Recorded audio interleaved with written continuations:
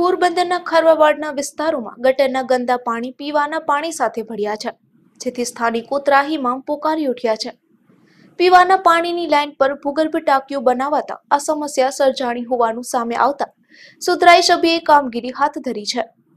પોરબંદરના ખારવાવાડ વિસ્તારમાં ખાટકીવાડ મીઠી મસ્જિદ, જલારામ મંદિર, દુવારા ફળિયું, ગરબી ચોક, લાખાણી ફળિયું, ગાંધી ગલી, મમાઈ ચકલો સહિતના વિસ્તારોમાં છેલ્લા વીસ દિવસથી પીવાના પાણીમાં દૂષિત પાણી આવતું હોવાની ફરિયાદ ઉઠી હતી.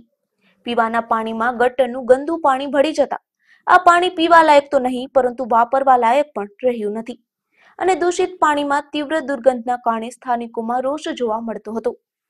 આથી આ વિસ્તારના સુધરાઈ સભ્ય જીવનભાઈ ઝુંગીને સ્થાનિકોએ રજૂઆત કરી હતી. જેથી જીવનભાઈએ આ બાબતે તપાસ કરાવતા અને ભૂગર્ભ ગટર ચેમ્બર ખોલાવતા જાણવા મળ્યું હતું. કે પીવાના પાણીની લાઈન પર જ ભૂગર્ભ ગટરની ચેમ્બર બનાવેલ છે. જેથી ગટર ભરાઈ જતા અને પીવાના પાણીની લાઈન પણ થોડી તૂટી જતા ગટરનું ગંદુ પાણી પીવાના પાણીમાં ભળી જવાથી આ સમસ્યા સર્જાય છે. જેથી જીવનભાઈએ સફાઈ કર્મીઓ બોલાવી અહીં કામગીરી હાથ ધરાવી છે. આ કામગીરી માટે થોડા સમય પહેલા જ આ વિસ્તારમાં લાખોના ખર્ચે પાથરવામાં આવેલ બ્લોક પણ તોડવાની નોબત આવી છે. સુધરાઈ સભ્યએ જણાવ્યું હતું કે ભૂગર્ભ ગટરના કામમાં બેદરકારી સામે આવી છે. પીવાના પાણીની લાઈન પર જ મેઇન હોલ બનાવવામાં આવ્યો છે, જેથી ગંદુ પાણી પીવાના પાણીમાં ભળે છે અને આ પાણી દૂષિત હોવાથી સ્થાનિકોને ભારે હાલાકી વેઠવી પડે છે. મારું નામ છે વિજયબેન ના પંચાયતરી એરિયો છે. અહીંયાનું પાણી છે ને સાવ ખરાબ આવે છે. જો પાણી પીવાની નથી કંઈ ઉપયોગ લઈ શકતા કે નથી કંઈ નાવા ધોવામાં ઉપયોગ લઈ શકતા કે નથી કંઈ વાપરવામાં ઉપયોગ લઈ શકતા. તો અમારે પાણી કેટલા દિવસથી આવે છે? તો પછી જીવનભાઈ આવ્યા એટલે અમે જીવનભાઈને વાત કરી કે આ પ્રમાણે પાણી આવે છે, તો અમારે કરવું શું? અમે ઘરમાં તો કંઈ ઉપયોગમાં લઈ શકતા નથી. બહારથી પાણી અમારે પૈસા દઈને મંગાવવું પડે છે. છેલ્લા વીસ દિવસથી આ ખારવા વિસ્તારમાં ભૂગર્ભ તળનું પાણી નળની અંદર જે પીવાનું પાણી હોય એની અંદર આવતું. એ અવારનવાર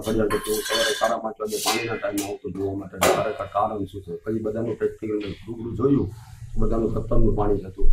હવે આના માટે કરીને દોષી કોણ છે ભૂગર્ભ ગતરવાળા છે કારણ કે જે વિસ્તાર છે મીઠી મસ્જિદથી લઈ નાન વેપારી ઓફિસ છે ને મીઠી મસ્જિદ જલારામ મંદિર, પંચાત્રી જલારામ મંદિર, પંચાત્રી અને ખાટકીવાડ, એ સિવાય કનુભાઈના દવાખાના, એ સિવાય ગણેશ મંદિર પાસે આવા આખા વિસ્તારમાં ભૂગર્ભ ગતરનું પાણી ભરી ગયું. એનું મુખ્ય ને મુખ્ય કારણ એક જ હતું કે ભૂગર્ભ ગતરની અંદરમાં જે લાઈનો છે, જે જૂની લાઈનો છે રેલવેના જે લાઈનો છે, જૂની રાજાશાહીની વખતની કે નગર જે નગરપાલિકા ઓગણીસો ત્યાંની તો ભૂગર્ભ ગતરવાળાએ એની અંદરથી લાઈન ન પસાર થાય એવી ત્યાંને ભૂગર્ભ ગતરના મેન રોડ બનાવવા જોઈએ.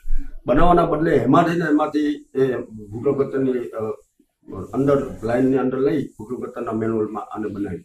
અત્યારે સમસ્યા એ થઈ કે જ્યાં જ્યાં એક જૂની લાઈન છે અને બીડની લાઈન છે જૂની, એ સડી ગઈ સડી ગયું એટલે એ પાણી સીધું નળની અંદર મિક્સ થતું એટલે અમારું કહેવાનું માંગણી વર્ષો ત્યાં એ પણ માંગણી છે કે ભાઈ અમારા વિસ્તારમાં પાણીની સમસ્યા છે, પાણીની સમસ્યા ચાર પાંચ દિવસે પાણી આવે છે, પાણી આવે છે તો ગતરનું પાણી આવે છે. બહેનોના ભાઈ એટલી ફરિયાદ કરતી છેલ્લે મારે સાડા પાંચ વાગે પાણી ટાઈમે આખા વિસ્તારમાં ફરવું પડતું.